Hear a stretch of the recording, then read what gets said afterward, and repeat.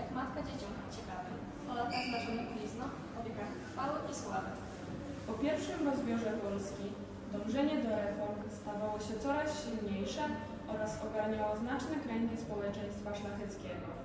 Obóz, propagujący reformy, zwany patriotycznym, dążył do przeprowadzenia pewnych reform ustrojowych, zniesienia kurateli caratu, poprawy stanu obronności państwa drogą powiększenia armii. Przeciwnym tym zmierzeniom obóz opozycji magnackiej był wrogi wszelkim reformom i zamierzał nadal opierać się na protekcji rosyjskiej. Król i stronnictwo dworskie dążyło do wzmocnienia władzy królewskiej i powiększenia sił zbrojnych, ale w oparciu o carat. Walka pomiędzy tymi stronnictwami miała się rozegrać na Sejmie, który rozpoczął obrady w 1788 roku. Jego królewska mość, król Prus i cesarska mość, imperatora rosyjska, zobowiązują się wspólnie zapobiegać i unicestwiać wszelkimi dostępnymi środkami jakiekolwiek zamiary i projekty zmierzające do naprawy ustroju Rzeczpospolitej, likwidacji liberum veto i wolnej elekcji.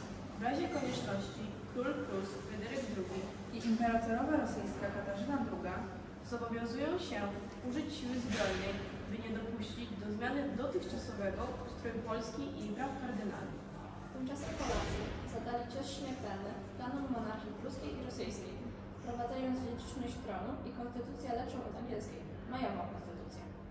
Była wiosna, wiosna w koło, nadszedł cudny maj. Pełne pieśni każde sioło, świat się zmienił w raj. Hej, pamiętny ów dzień chwały, cudny, trzeci maj.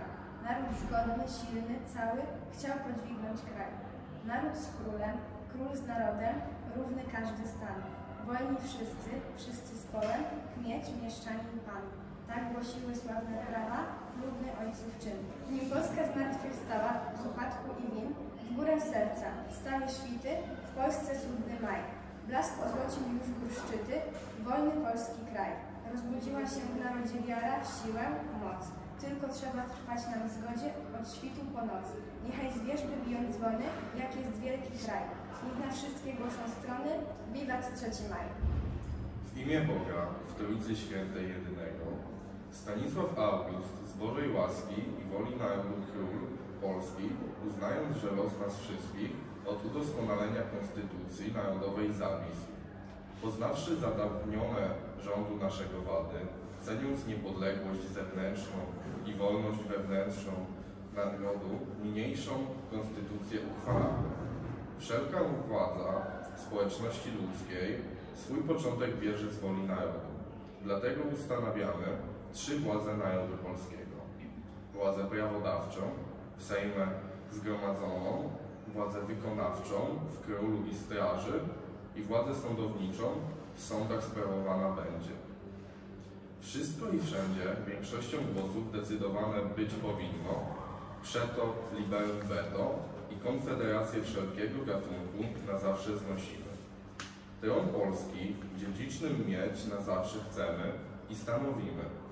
Dynastia przyszłych królów polskich zacznie się na osobie Fryderyka Augusta, dzisiejszego elektora saskiego, którego sukcesorem tronu polskiego obwieszczamy. Po czasy najstarszy syn króla panującego po ojcu na tron następować ma. Każdy król, wstępując na tron, wykona przysięgę Bogu i narodowi na zachowanie konstytucji niniejszej. Zgoda Sejmu sprawiła, że nam wolność przywróciła. Wiwat, krzyczcie wszystkie stany. Niechaj żyje król, kochany. Taka jest narodu wola, za twych braci i za króla. Obywatel każdy, wszędzie, życie swoje łożyć będzie. Wiwat, Sejm i naród cały, dziś nam nieba żywot dały. Wiwat, krzyczcie wszystkie stany. Niechaj żyje król, kochany. Tymczasem, knujący zemstę, umysł cesarzowej nie spuszczał z oka nieszczęsnej Polski, która próbowała stanąć o własnych siłach.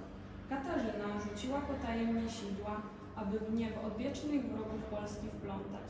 Przyjaciół zaś jednego po drugim odciągnąć potrafiła. O Turkach już i mowy nie było. Króla szwedzkiego zjednała sobie najzupełniej. Prusy nie oparły się przynęcie, jaką ją ona od strony wschodniej rzuciła. Anglię tak umiała złowić na wędkę różnych obietnic handlowych, że ta nie stawiała jej żadnej w Polsce przeszkody. Mogła tedy do woli użyć oręża, które osamotnionej Polsce śmiertelny cios miał zadać. 18 maja 1792 roku wojska rosyjskie przekroczyły granice Korony i Litwy. Pomimo stawiania oporu wojskom carskim pod Zieleńcami i Dubienką, nastąpił ogólny odwrót wojsk polsko-rosyjskich w stronę Wisły.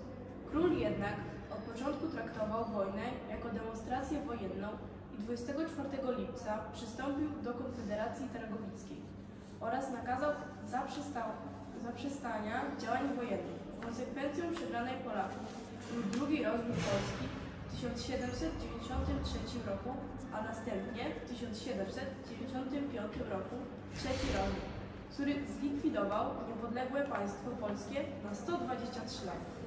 O, teraz ostatni patrzę na tę ziemię. Kędy od wieków chodzi moje plemię. We krwi, a słońcu, oczy mok. Szkoda mi Polski. Odsłońcie to okno. Niech na nią patrzę, choć ją pożegnałem.